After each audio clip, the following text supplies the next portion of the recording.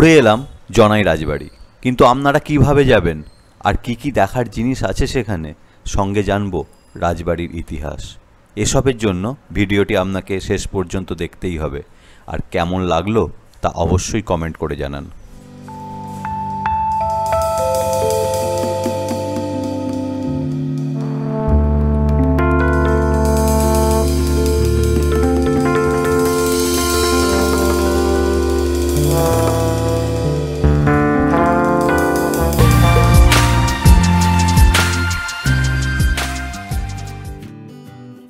রবিবার দিন সব কিছুতেই ঢিলে ঢালা পাপ। হাওড়া থেকে কর্ড লাইনের সাতটা সাতের হাওড়া বর্ধমান লোকাল মিস করার শাস্তি হিসাবে পরের লোকাল পেতে এক ঘন্টারও বেশি সময় অপেক্ষা করতে হলো। পেলাম আটটা পঁচিশের বর্ধমান লোকাল। আধ ঘণ্টার মধ্যেই চলে এলাম জনাই রোড স্টেশনে। আমরা এখন দাঁড়িয়ে রয়েছি জনাই স্টেশন রোডে। জনাইটা দু ধরনের কারণের জন্য বিখ্যাত। একটা হচ্ছে এখানকার মনোহরা, খুব বিখ্যাত, আর কালীবাবুর বাড়ি। আজকে আমরা দুটোই দেখব। মনোহরা তো অবশ্যই টেস্ট করব। আসুন আমার সাথে।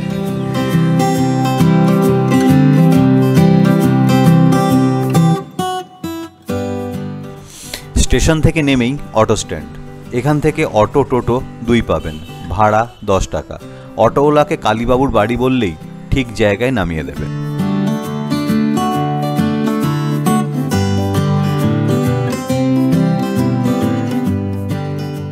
অটো এগিয়ে চলল কালীবাবুর বাড়ির দিকে।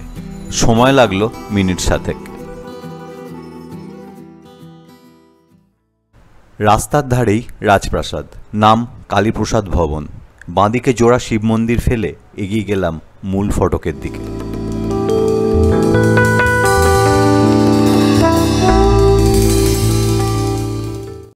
জনাই স্টেশন থেকে নেমে মিনিট দশেক। খুব জোর। অটো ভাড়া দশ টাকা। চলে আসুন কালীবাবুর বাড়ি। ওরফে কালীপ্রসাদ মুখোপাধ্যায়। আমরা তাকে কালীবাবু বানিয়ে দিয়েছি। তিন দিকে বড় বড় থাম আর খিলান দেওয়া বারান্দা। তার পেছনে রয়েছে ঘর আর সামনের ফাঁকা জায়গাটা দিয়ে এগিয়ে গেলেই চোখে পড়বে নাট মন্দির। পুরো জায়গাটাই যথেষ্ট আভিজাত্যের ছোঁয়া রয়েছে। কিন্তু নাট মন্দির ছাড়া বাকি অংশে রক্ষণাবেক্ষণের অভাব স্পষ্ট। চোখ বুঝলেই আপনি এখানে টের পাবেন দুশো বছর আগে রাজবাড়ির ব্যস্ততা, কোলাহল, যা বর্তমানে এক নীরব হাহাকারের সাক্ষী হয়ে রয়েছে।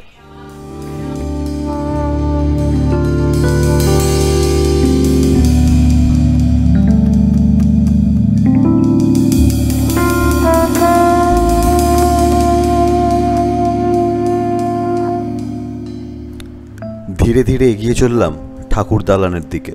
আমাকে দেখেই একদল পায়রা ডানা ঝাপটে বেরিয়ে গেল।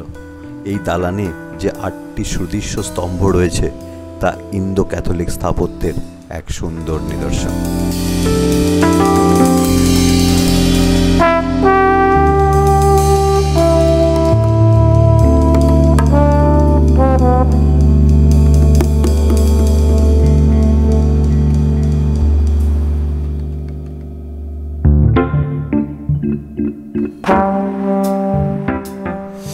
বাংলার বারোশো চৌত্রিশ আর ইংরেজির এইটিন টোয়েন্টি সেভেন অর্থাৎ আজ থেকে প্রায় দুশো বছর আগে কালীপ্রসাদ মুখোপাধ্যায় এই জনাই রাজবাড়ি তৈরি করেন।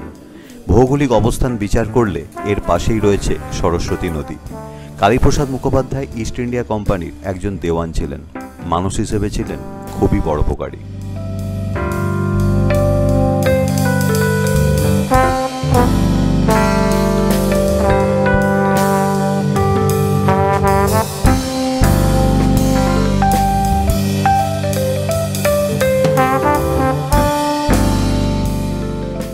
মেলবন্ধন পুস্তিকা থেকে জানা যায়, কানৌজের মহারাজা আদিসুর যে পাঁচজন বিখ্যাত ব্রাহ্মণ এনেছিলেন, তাদের মধ্যে অন্যতম হলেন গঙ্গানন্দ উপাধ্যায়।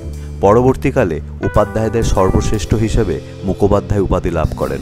তারই বংশধর হলেন এই কালীপ্রসাদ মুখোপাধ্যায়।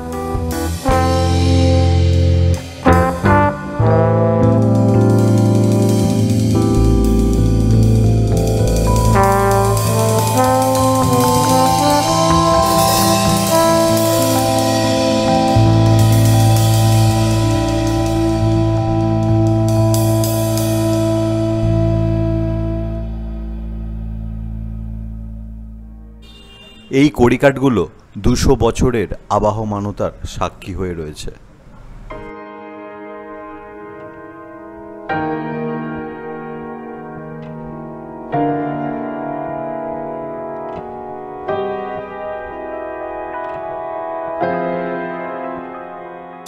শিবভক্ত হিসেবে কালীপ্রসাদ বাবুর বেশ নাম ডাক ছিল। তারই ফলশ্রুতি এই জোড়া শিব মন্দির যা আপনি রাজবাড়ি ঢুকতে গিয়েই বাঁদিকে দেখতে পাবেন।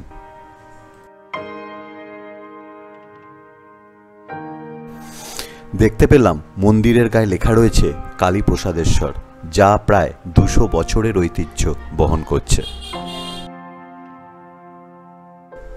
রাজবাড়ির যখন রমরমা ছিল, তখনকার পাওয়া একটি ছবির নিরিখে বর্তমান রাজবাড়ির অবস্থা কেমন তা একটু দেখে নেওয়া যাক। এই সেই জোড়া শিব মন্দির। রক্ষণাবেক্ষণের ফলে যা প্রায় আজও অক্ষতই রয়েছে।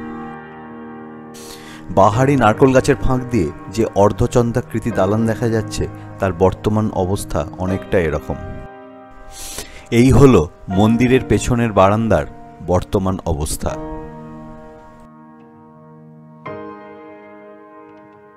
রাজপ্রাসাদে ঢোকার মুখে ডান দিকের অংশটি আজ প্রায় ভগ্ন দশায় পরিণত হয়েছে। এলাকার অধিকাংশ দুর্গা প্রতিমা এখানেই তৈরি হয়। প্রস্তুতি শুরু হয়ে গেছে। তারও মনের মধ্যে অকালবোধন এখানেই হয়ে গেল। সেই পুরনো আমল থেকেই রাজবাড়ির ঠাকুর দালানে হয়ে আসছে দুর্গাপুজোর প্রচলন। তবে বর্তমানে পুজোর সেই জলুস আর নেই। পরিশেষে এটুকু বলাই যায়, সরকার ও মুখোপাধ্যায়দের বর্তমান প্রজন্ম একটু উদ্যোগী হলে এই রাজবাড়ি স্বমহিমায় বিরাজ করবে এবং পশ্চিমবঙ্গের পর্যটন মানচিত্রে এক বিশেষ জায়গা করে নেবে। জনাই আসব আর মনোহরার স্বাদ আস্বাদন করব না, তা তো হয় না। পরের একটি বিশেষ পর্ব এই মনোহরাকে নিয়েই থাকবে। থাকবে মনোহরার ইতিহাসও। সঙ্গে থাকবেন, ভালো থাকবেন। আজ এইটুকুই। ধন্যবাদ।